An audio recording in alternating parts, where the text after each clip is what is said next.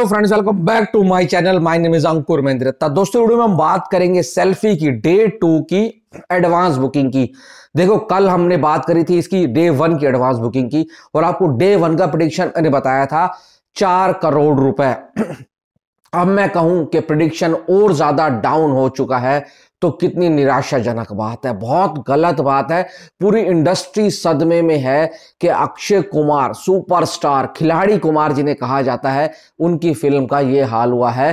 भाई, जो प्रडिक्शन आ रही है ना डे वन की वो तीन करोड़ रुपए आ रही है और उसका असर डे टू पर भी दिख रहा है। मतलब कि डे टू यानी कि सैटरडे, छुट्टी वाला दिन। अब छुट्टी वाला दिन जो होता है, फ़िल्म के लिए जंप होनी चाहिए, उछाल आना चाहिए। पर अगर छुट्टी वाले दिन में भी गिरावट आ रही है तो समझ लो पब्लिक ने साफ़ नकार दिया है, डिजास्टर करार कर दिया है। बिल्कुल बिगेस्ट डिजास्टर हो सकती है अक्षय कुमार की ये फ़िल्म।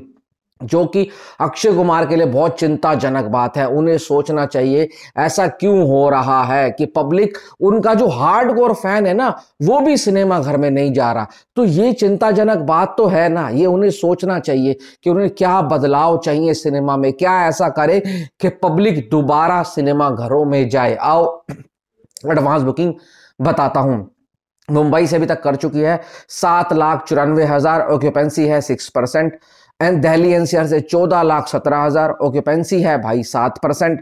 पुणे से दो लाख इकहत्तर हज़ार ऑक्यूपेंसी है सात परसेंट। बैंगलोर से तीन लाख बयालीस हज़ार ऑक्यूपेंसी है ग्यारह परसेंट। और हैदराबाद से दस लाख अठहत्तर हज़ार ऑक्यूपेंसी है भाई बीस परसेंट। भाई ये नंबर्स आपको लाख में दिख रहे हैं, ये होने चाहिए करोड़ में। क्यों? फ़िल्म सिर्फ़ अभी दूसरे दिन पर है। अगर यही हाल रहा तो फ़िल्म मंडे को भाई, लाख में आ जाएगी टोटल ओवरऑल कलेक्शंस में। करोड़, क्योंकि इसका पहले दिन का तीन करोड़ आ रहा है। तो आप सोचो मंडे को इस फ़िल्म का क्या हाल होने वाला है। भाई बिगेस्ट डिजास्टर जा सकती है ये फ़िल्म अगर मैं बात करूँ एडवांस बुकिंग की तो एडवांस बुकिंग हुई है 69 lakh total ticket sold out हुई है।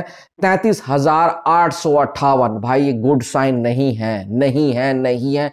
फिर बोलूँगा, भाई, कुछ सोचना पड़ेगा अक्षय कुमार को। भाई, मैं हम यही बोल सकते हैं कि उन्हें सोचकर फ़िल्म की स्क्रिप्ट को साइन करना चाहिए, खासकर रीमेक को तो किनारे किनारे से छोड़ दो। मैंने करनी नहीं है, सीधा बोलो यार, कोई आपके पास लेकर आए, बोलो मैंने करनी ही नहीं है रीमेक। ओरिजिनल स्क्रिप्ट है तो आओ बात करते हैं, नहीं तो बात भी मत करो ऐसे डायरेक्टर से तो। बाकी वीडियो में इतना ही, कुछ अच्छा लगा हो। आपका क्या है कहना कमेंट बॉक्स में कमेंट करके बताएँ। Thanks for watching.